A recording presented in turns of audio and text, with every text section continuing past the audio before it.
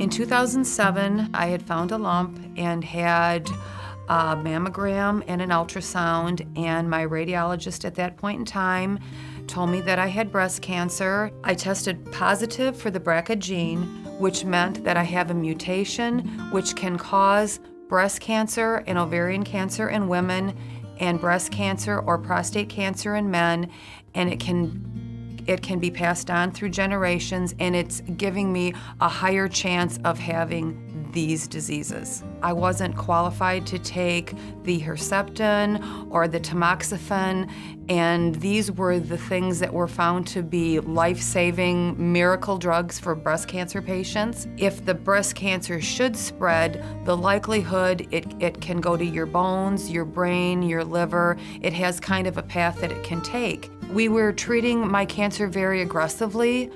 Uh, instead of having just a mastectomy, removing the breast that had the cancer, I had a double mastectomy.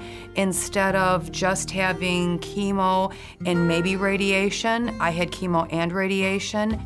I was finishing my radiation, and after that, my oncologist said, After this, you're pretty much on your own. There's nothing more we can do. And then I was presented with the option of the clinical trial. Their hopes were if I were to take this drug, that the cancer would not metastasize to my bones. The first thing I thought about was my children, was my sisters, their children, because the gene mutation that I have is hereditary. Maybe this may be a factor if they were to get the cancer. And I said, absolutely.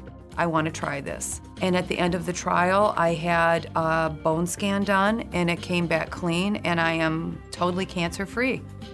Three years later, I look back at when my mother had breast cancer, which was over 30 years ago, and they didn't have the information, they didn't have the knowledge that they had right now, and unfortunately, she didn't survive. And had it not been for people that have taken the risk, we may still be back where we were in the 70s. When you do a drug trial, it's like if you're thinking about everyone around you and the difference that you can make in anyone else's lives. It's giving back.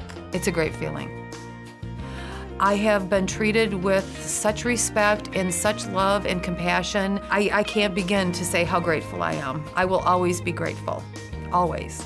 I thank God every day for the life that I have and if you get the opportunity, if you get asked to do a drug trial, please consider it. It's, it's the best thing that you can do, and you'll never regret it.